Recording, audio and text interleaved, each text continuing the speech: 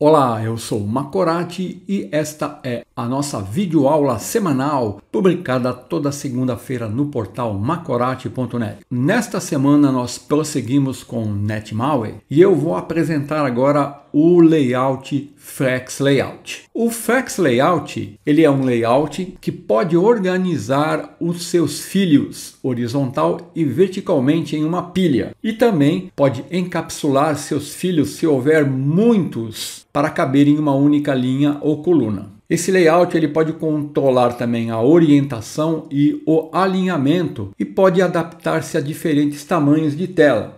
Então ele é bastante flexível. Ele apresenta dois comportamentos principais. Quando os itens no Flex Layout são organizados em uma coluna, então o Flex Layout ele vai ter um eixo principal vertical e um eixo cruzado horizontal. Agora, quando os itens no Flex Layout são organizados em uma linha, o Flex Layout vai ter um eixo principal horizontal e um eixo cruzado vertical. As principais propriedades do Flex Layout são as seguintes. A propriedade direction, que vai determinar a direção em que os elementos filhos serão dispostos, a propriedade wrap, que vai especificar se os elementos devem quebrar para a próxima linha quando houver mais espaço na direção flex, a propriedade justify content, que define como os elementos devem ser alinhados ao longo do eixo principal, a propriedade align items especifica como os elementos devem ser alinhados ao longo do eixo transversal, align self vai especificar como um elemento filho específico deve ser alinhado ao longo do eixo transversal. Flex vai definir a proporção do espaço disponível que um elemento filho deve ocupar. Eu tenho as propriedades margem, que vai definir o espaço fora da borda do elemento, padding, que vai definir o espaço dentro da borda do elemento, order, que especifica a ordem dos elementos filhos, e bases, que define o tamanho inicial de um elemento filho ao longo do eixo principal. Então são bastantes propriedades, são essas propriedades que em conjunto nos ajudam a definir um layout usando o Flex Layout. Então a seguir eu vou apresentar cada uma delas, pelo menos as principais. Eu vou iniciar com a propriedade Direction, que indica a direção dos elementos na tela e os valores possíveis são row, organiza os elementos da esquerda para a direita de forma vertical, esse é o valor padrão. Row reverse, que organiza os elementos da direita para a esquerda de forma vertical. E column, organiza os elementos do topo para a base de maneira horizontal e column reverse, que organiza os elementos da base para o topo de maneira horizontal. Então agora eu vou mostrar o efeito da definição de cada uma dessas propriedades atribuindo os valores possíveis. Para isso, ó, eu vou abrir o nosso projeto criado nas semanas anteriores, Maui Demo, e vou incluir aqui ó, uma nova content page Vou vir em Project, Add New Item, vou selecionar a opção aqui NetMaui, NetMaui Content Page e aqui ó, eu vou criar uma Content Page chamada Flex Layout Demo. Vou clicar em Add e eu vou ter aqui ó,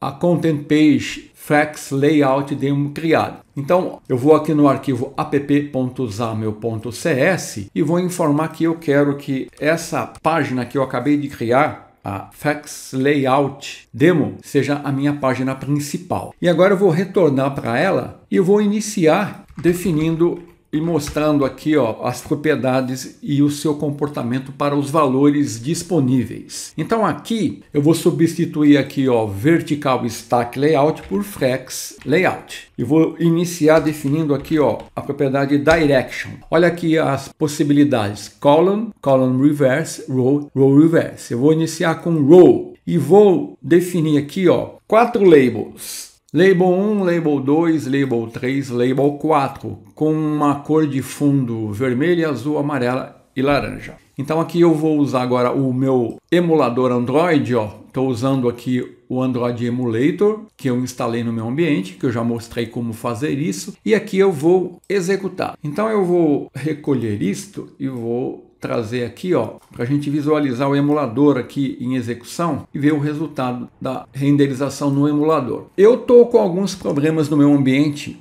com o hot reload, então algumas vezes será necessário restartar a aplicação, tá? E você vai perceber quando eu fizer isso, ok? Então tá aqui, ó, um exemplo do valor row na propriedade direction. Ó. ele vai definir a organização da esquerda para a direita na vertical. Este é o valor padrão, row. Então agora eu vou definir aqui o row reverse, que é a outra possibilidade, ó. Então, row reverse, ele vai organizar os elementos da direita para a esquerda na vertical. Agora, se eu definir aqui como column, eu vou ter a organização dos elementos do topo para a base de maneira horizontal. E column reverse vai organizar os elementos da base para o topo, como está sendo mostrado aqui. Ó. Deixa eu levantar um pouco esse layout aqui. Ó como está sendo mostrado aqui. Esse é o comportamento dessa propriedade para esses valores. Então, continuando, eu vou mostrar agora a propriedade Align Items. Essa propriedade ela define o comportamento do alinhamento dos elementos no container, que é a página onde o layout está sendo definido. Ela vai especificar como os itens são alinhados no eixo transversal. E eu tenho esses valores, olha que eu vou mostrar a seguir. Então, retornando aqui, agora eu vou definir a propriedade Align Items. Vou colocar aqui Align Items. E os valores possíveis são Center, End, Start e Stretched. Vou iniciar com Start, que é o padrão. Deixa eu levantar o emulador. Então tá aqui ó, o valor de Align Items para Start, que vai organizar os elementos no início do container. Ó obtendo aqui apenas o espaço de uma linha. Eu posso definir também o valor end, que vai organizar os elementos no final do container, na base do container, como está sendo mostrado aqui, ó, na base do container. Eu tenho o valor center, que vai organizar os elementos aqui, ó, no centro do container, e eu tenho o valor stashed, que organiza aqui ó, os elementos no início do container e ele tem um esticamento horizontal. Então, esse é o comportamento do Align Items para os valores que eu acabei de mostrar aqui. Continuando, agora eu vou mostrar a propriedade Justify Content. Essa propriedade especifica como os itens são organizados no eixo principal. Eu tenho aqui o start, que vai organizar os elementos no início do container, que é o padrão. O center organiza os elementos no centro, end organiza os elementos no fim, e eu tenho aqui ó, a propriedade space around, ela vai iniciar definindo uma unidade de espaço para as bordas e duas unidades a outros elementos do container, ou seja, ele vai colocar esses espaços ao redor dos elementos. E eu tenho também a propriedade space between, que vai definir o mesmo espaço entre os elementos, e a propriedade space evenly, que define o mesmo espaço entre as bordas e os outros elementos do container. Vamos entender melhor quando nós visualizarmos o comportamento dessas propriedades. Então eu vou retornar aqui para o nosso projeto, vou habilitar aqui o nosso emulador e vou aqui usar a propriedade agora Justify Content. Justify Content. Os valores disponíveis são Center End, Space Around, Space Between, Space Evelyn e Start. Vamos iniciar com Start. Start ele vai organizar os elementos aqui ó, no início do container. End vai organizar aqui ó, os elementos no fim, considerando aqui que eu estou fazendo aqui um, uma organização vertical. Center vai centralizar os elementos aqui no container, que é a minha página. E agora eu vou mostrar o Space Around. Space Around vai iniciar com uma unidade aqui ó, de espaço na borda, tá vendo? Ó? E nas demais ela vai usar duas unidades Percebe que aqui nas bordas eu tenho um espaçamento menor e aqui eu tenho o dobro do espaçamento usado nas bordas. Então esse é o Space Around. Ele vai distribuir o espaço entre os elementos usando essa organização. Vamos ver o Space Between. O space between ele vai definir o mesmo espaço entre os elementos, sem definir aquele espaçamento inicial entre as bordas. Ele só vai fazer isso entre os elementos. E o último é o space Evelyn. Vamos definir aqui o space Evelyn e ver qual é o comportamento. O Space Evelyn ele define o mesmo espaçamento entre as bordas e os elementos, ou seja, ele é um pouco diferente do Space Around. Então, observe que o, o espaçamento entre todos os elementos, incluindo as bordas, são iguais. Então, continuando, vou mostrar agora a propriedade Wrap, que vai organizar a localização dos componentes. Então, por padrão, os elementos no Flex Layout eles são colocados todos em apenas uma linha. E aí eu tenho as seguintes possibilidades. Ó. No Wrap, vai organizar todos os elementos na mesma linha, que é o padrão. Agora, se eu usar a propriedade wrap, eu vou organizar os elementos em múltiplas linhas do topo para a base. E reverse vai fazer a mesma coisa no sentido contrário. Então, eu vou retornar aqui ao meu código e vou definir agora a propriedade eh, wrap aqui, ó. Por padrão, então, ó, é no wrap. Essa é a padrão. Então aqui ó, eu vou colocar mais labels para a gente visualizar o comportamento dessa propriedade melhor. Vou incluir aqui ó, mais duas labels aqui ó. Vou incluir mais, um, mais duas labels aqui, mais uma, né? Perceba que conforme eu, eu, eu, vou incluindo labels, elas vão se ajustando e vão sendo organizadas na mesma linha, tá vendo? Então vamos agora definir a propriedade aqui como wrap e vamos ver qual vai ser o comportamento.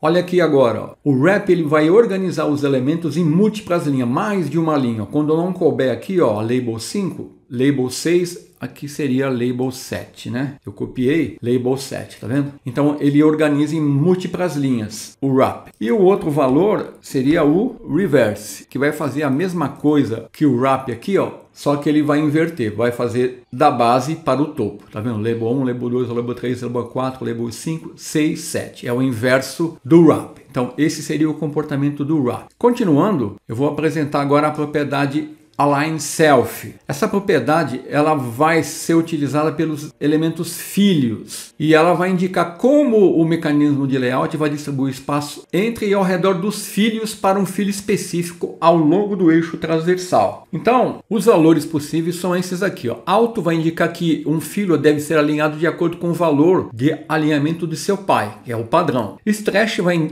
indicar que o filho deve ser esticado. Center indica que o o filho deve estar alinhado em torno do centro. Start indica que o filho deve ser alinhado no início e End indica que o filho deve ser alinhado no final da página. Então, retornando aqui para o nosso projeto e abrindo aqui o nosso emulador, eu vou definir o código aqui, ó, e nós vamos ver o comportamento para Flex Layout aqui, ó, onde eu estou definindo a propriedade Align Self. Então, ó, o Align Self é utilizado nos filhos. Então, aqui eu tenho as quatro labels. Estou definindo aqui, ó, align self para todas elas. Aqui estou definindo start, ó. Start é no início, center é no, no centro do, da página, end no final e o alto aqui, ó, ela vai indicar que ela vai ser alinhada de acordo com o que foi definido aqui no, no Pi, que é o Flex Layout. Neste caso, ele vai usar a configuração padrão de Align Items, que, onde ela vai esticar o elemento e ocupar verticalmente a página inteira. Então, esse seria o comportamento do align self. Então, o valor dessa propriedade, ela vai sobrescrever os valores definidos na propriedade align items que pode ser usada também para definir aqui o comportamento do posicionamento dos elementos no container ou na página. Além dessas propriedades, eu também tenho as seguintes propriedades que são usadas, que eu vou descrevê-las aqui. Ó. A propriedade Flex Layout Grow, Basis, Order e Shrink. A Grow vai especificar a quantidade de espaço disponível que o filho deve usar no eixo principal e permite ter mais controle na organização dos itens. Eu vou mostrar isso num exemplo. Basis define o tamanho inicial do filho no eixo principal antes que o espaço livre seja distribuído de acordo com outros valores de propriedade. Order permite alterar a ordem na qual os flex layouts filhos são organizados, e o valor padrão aqui é zero. E o shrink vai controlar como uma view filha deve ser reduzida, encolhida, para que todas as filhas possam caber dentro de um container. Então, para mostrar algumas dessas propriedades em ação, eu vou fazer o seguinte, ó. Eu vou agora definir aqui um flex layout Deixa eu levantar aqui o nosso emulador e eu vou mostrar um exemplo de um layout padrão onde eu vou criar três colunas. Vai ser constituída de um cabeçalho na parte superior da página, um rodapé na parte inferior, onde ambos vão estar estendendo a largura total da página. E no centro da página eu vou ter o conteúdo principal, que vai ser um menu com colunas à esquerda e à direita. O header é um, uma label, cabeçalho, com uma cor, ó, já apareceu aqui, com alinhamento do texto centralizado. A seguir eu vou definir o body. e vou definir as labels restantes. Então percebeu o meu layout aqui sendo criado? Então vamos entender o que foi feito aqui, ó. Aqui eu tenho dois Flex Layout, tá vendo, ó? Um dentro do outro. Aqui está o interior e aqui está o que está envolvendo esse meu Flex Layout interior. No primeiro Flex Layout, eu tenho um eixo principal que vai conter três filhos, ó. A label do cabeçalho, vou ter esse flex layout e vou ter a label do rodapé. Aqui é rodapé. Tem o header, o body e o rodapé. Então, ó, o cabeçalho, ó, o rodapé aqui, ó. E aqui seria o body. Aqui está o meu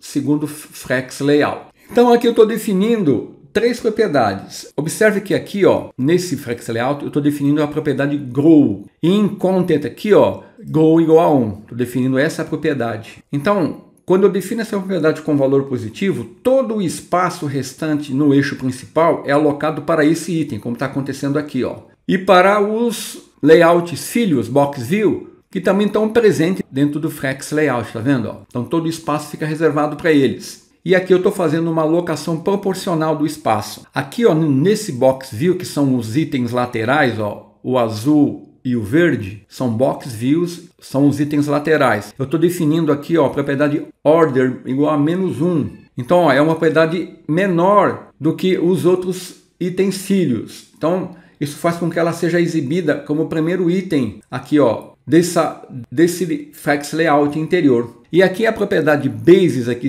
eu estou definindo com um valor de 50 pixels. Então, estou definindo isso aqui nas duas box view, tá vendo? Ó? Isso vai, de, vai definir o tamanho que elas vão ocupar, olha, aqui no Flex Layout interior. Por isso que elas têm esse tamanho iguais e por isso que o content tem um tamanho maior. Então aqui é um exemplo onde eu estou usando as propriedades grow, bases e ordem para definir esse layout aqui. Ó. E agora, para concluir, eu vou mostrar agora um exemplo de layout usando o Flex Layout, onde eu vou mostrar que a utilização do Flex Layout ela é mais indicada do que usar o Stack Layout, dependendo do cenário. Então, ó, eu vou remover todo esse código aqui, ó, onde eu estou definindo esse layout aqui, ó. Vamos remover tudo. E eu vou definir um layout aqui, ó, definindo um Flex Layout então observe que estou definindo três propriedades, Direction, Justify Content e Align Items. E aqui eu vou definir os itens que eu vou colocar no meu layout. Então olha aqui o meu layout montado. Então ó, eu tenho aqui uma label, exemplo de Flex Layout, uma imagem que eu estou usando a imagem aqui ó, de Resources Images do, do .NET underline bot.svg, que é a imagem do NetMaui. Estou definindo um button, com um texto botão sem função e estou definindo aqui uma label Macorati 2023. Então, ó, o valor definido aqui, ó, column, faz com que as views do Flex Layout, as views filhas, sejam organizadas em uma única coluna, como eu estou exibindo aqui, ó, tem uma única coluna. Então, eles são empilhados, como simulando um stack layout. O Justify Content, como Space Evelyn, vai alocar todo o espaço vertical que sobra à esquerda igualmente entre os fios, tá vendo? Eu tenho o mesmo espaçamento entre todas essas views, ó. As, as labels, a imagem, o button, tá vendo? Isso é o Space Evelyn, os espaços estão sendo alocados igualmente. E o Align Items igual a Center, eu estou centralizando todas as minhas views filhas aqui, ó dentro do meu Flex Layout. Se eu fosse usar um Stack Layout para fazer isso, eu teria que ficar empilhando vários desses dessas views aqui e o código não seria tão enxuto como eu estou mostrando aqui. Então, esse é um exemplo onde a utilização do Flex Layout realmente vale a pena. Então, era isso que eu queria mostrar essa semana. Até a semana que vem, se Deus quiser.